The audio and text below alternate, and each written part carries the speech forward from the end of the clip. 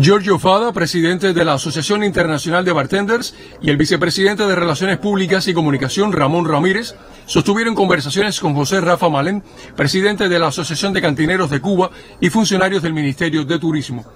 Durante el encuentro conocieron pormenores sobre la organización del Campeonato Mundial de Coctelería, que en su edición 69 tendrá por escenario el balneario de Varadero en noviembre. There is lot of excitement from the bartenders from all over the world because Cuba represents uh,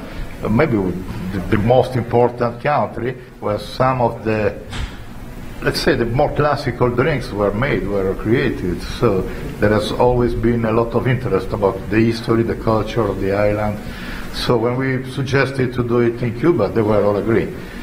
I mean, before we take this decision, we have to ask all the 65 presidents all over the world, our council, and they all voted for Cuba. Desde hace mucho tiempo, cuando inauguré el primer hotel que tenemos en contacto, que fue el Sol Palmera, yo sabía que aquí en Cuba se iba a hacer un, un, campeonato mundial de coctelería. Lo dije en el Floridita cuando puse mi carta de coctelería allí con el maestro Antonio Mailán. Y bueno, eh, hemos tenido que esperar todo este tiempo, pero verdad que ha merecido la pena y agradecer el esfuerzo que está haciendo la Asociación de Cantineros Cubanos con, con Rafa al frente y toda la delegación.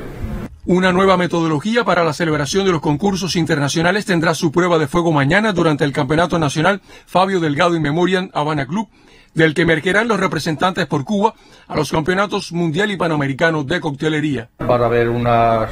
un, unas correcciones dentro de la coctelería internacional, se va a modernizar lo que es la coctelería internacional con los cócteles que siempre se han hecho a través de un Speed Challenge que se va a llamar.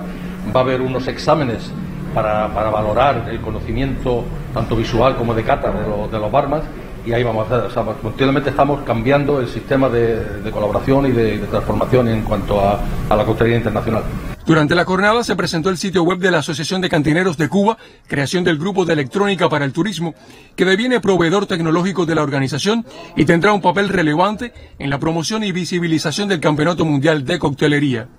La función que va a tener desde el punto de vista de comunicación es una difusión de información histórica promocional, histórica porque vamos a estar poniendo constantemente la historia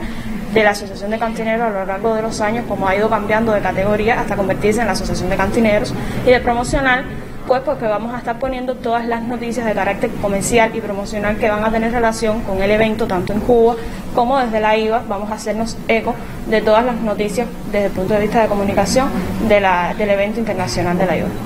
Cuna de algunos de los cócteles más renombrados del mundo, Cuba será la primera nación de América Latina en celebrar un campeonato mundial de coctelería en noviembre próximo. Melvin Joel, Sistema Informativo de la Televisión Cubana.